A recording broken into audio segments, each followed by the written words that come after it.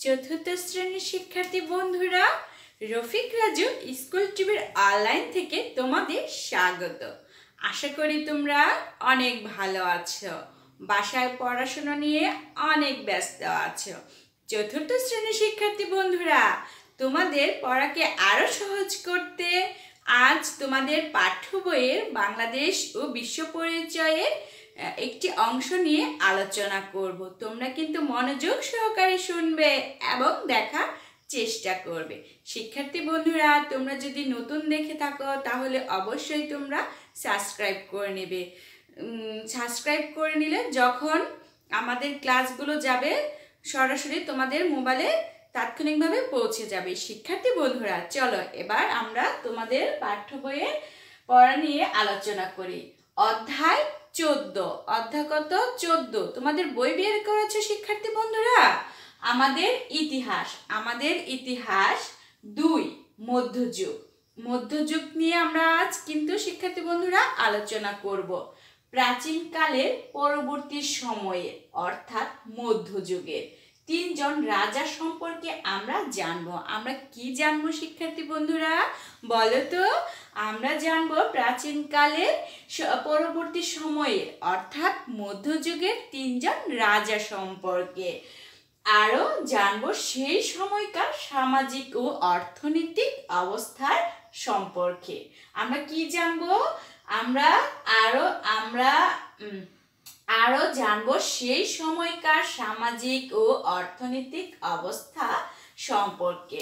শামসুদ্দিন ইলিয়াস শাহ। শামসুদ্দিন ইলিয়াস শাহ চতুর্দশ শতকের শতকের বাংলার সিংহাসন দখল করেন। কত শতকে শামসুদ্দিন ইলিয়াস শাহ বাংলা দখল করেন? বলো বাংলার সিংহাসন দখল করেন? বলতো শিক্ষার্থী বন্ধুরা। হ্যাঁ চতুর্দশ শতকে বাংলার সিংহাসন দখল করেন। তখন ছিল বাংলায় মুসলিম শাসনামল। তখন ছিল বাংলায় মুসলিম শাসনামল। তার প্রধান সাফল্য হলো তিনি দিল্লির সুলতানদের কবল থেকে বাংলার স্বাধীনতা বজায় রাখেন। তিনি কি করেন শিক্ষার্থী বন্ধুরা? তার সাফল্য কি বলতো? হ্যাঁ তার প্রধান সাফল্য হলো তিনি দিল্লি সুলতানদের কবল থেকে বাংলার স্বাধীনতা বজায় রাখেন। তিনি বাংলার স্বাধীনতাকে বজায় রাখেন দিল্লির, দিল্লি থেকে। ঠিক আছে, শিক্ষার্থী বন্ধুরা? ইলিয়াস শাহী বংশের শাসনের সূচনা করেন। ইলিয়াস শাহ শাহী বংশের, ইলিয়াস শাহ শাহী বংশের শাহী বংশের শাসনের সূচনা করেন। ইলিয়াস শাহ কি করেন? বলতো, শাহী বংশের ইলিয়াস শাহ কি করেন? শাসনের সূচনা করেন। তার শাসনামলে তার শাসনামলে দেশীয় ভাষা, তার শাসনামলে দেশীয় ভাষা, দেশ, সাহিত্য পণ্ডিত ও পণ্ডিত ও কবিদের সমাদর বাড়ে তার শাসনামলে কাদের সমাদর বাড়ে বলতো শিক্ষার্থী বন্ধুরা?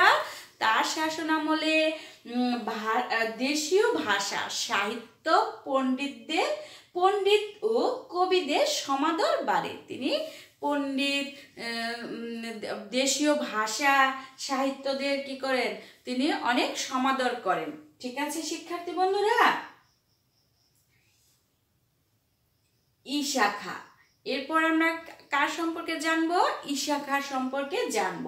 বাংলার বড় বড় অঞ্চলের জমিদার যারা বারো ভূঁইয়া নামে পরিচিত তাদের নেতা ছিলেন ইশাখা। কাদের নেতা ছিলেন বাং- আহ, বাংলার বড় বড় অঞ্চলের জমিদার যারা বারো ভূঁইয়া নামে পরিচিত তাদের নেতা ছিলেন ইশাখা। ঠিক আছে, শিক্ষার্থী বন্ধুরা? তিনি সোনারগাঁও এর জমিদার ছিলেন। তিনি সোনারগাঁওয়ের জমিদার ছিলেন। তোমরা কি সোনারগাঁও নামটি শুনেছ? নিশ্চয়ই তোমরা শুনেছ। সেই সোনারগাঁও এর জমিদার ছিলেন কে বলতো, শিক্ষার্থী বন্ধুরা? ইশাখা। তাই বাংলার স্বাধীনতার জন্য ষোড়শ শতকে, বাংলা স্বাধীনতার জন্য ষোড়শ শতকে দিল্লির মুঘল সম্রাট আকবরের সাথে তিনি যুদ্ধ করেন। তিনি কার সাথে যুদ্ধ করেন? বলো, শিক্ষার্থী বন্ধুরা দিল্লির মুঘল সম্রাট আকবরের সাথে তিনি যুদ্ধ করেন। কিসের জন্য যুদ্ধ করেন? কত কত শতকে যুদ্ধ করেন শিক্ষার্থী বন্ধুরা? সুরভ তিনি ষোড়শ শতকে যুদ্ধ করেন। ঈশা খান মৃত্যুর পূর্ব পর্যন্ত ঈশা খান মৃত্যুর পূর্ব পর্যন্ত বাংলার মুঘলদের অধি- অধীনতা মানেননি। কি করেননি তিনি? মানে মৃত্যু যাওয়ার মৃত্যু যাওয়ার আগ পর্যন্ত তিনি কি করেননি? বাংলার মুঘলদের অধি- অধীনতা মানেননি। এরপর আমরা জানব শায়েস্তা খান।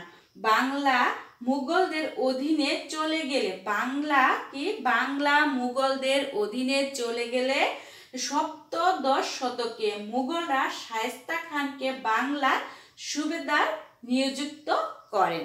বুঝতে পেরেছ শিক্ষার্থী বন্ধুরা? আমি লাইনটি আবার পড়ছি।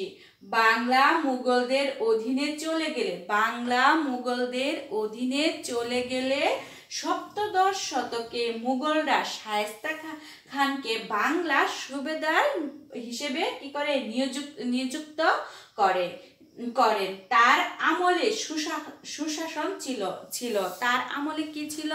শিক্ষার্থী বন্ধুরা, তার আমলে ছিল সুশাসন শাসন সুশাসন, তার আমলে ছিল সুশাসন মানে কি? ভালো শাসন।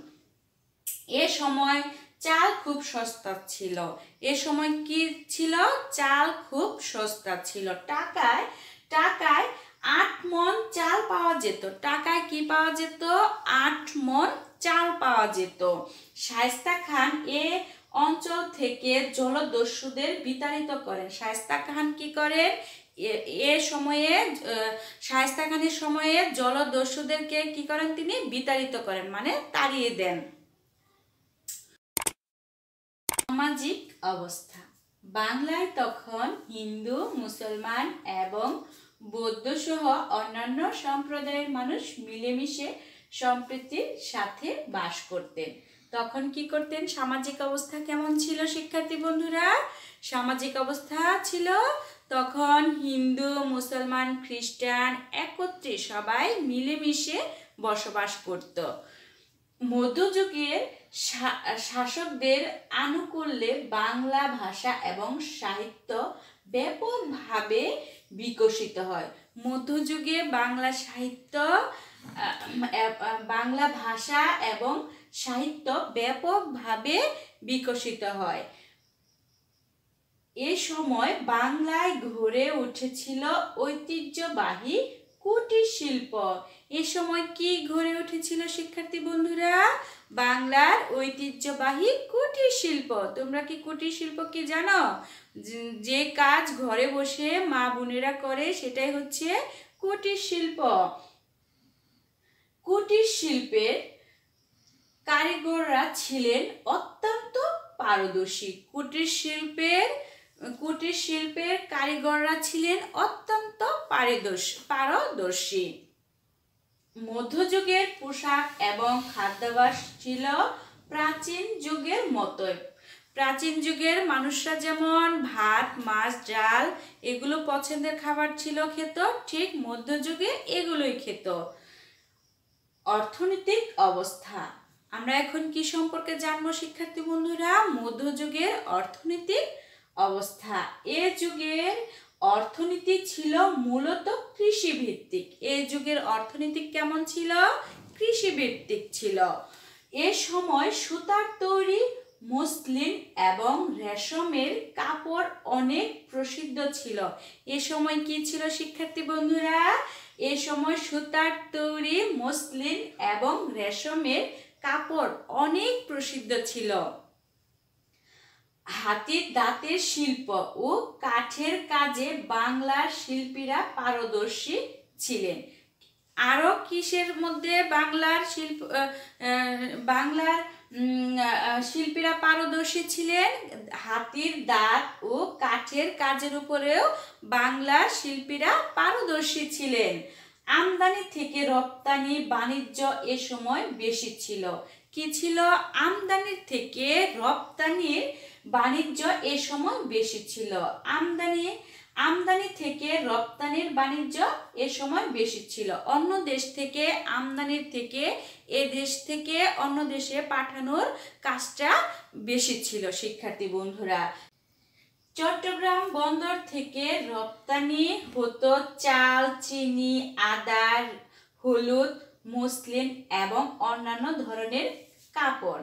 বাণিজ্য কেন্দ্র হিসেবে চট্টগ্রাম সুপরিচিত ছিল। বাণিজ্যিক বাণিজ্যিক কেন্দ্র হিসেবে চট্টগ্রাম কি ছিল? সুপরিচিত ছিল, যা বর্তমানে রয়েছে।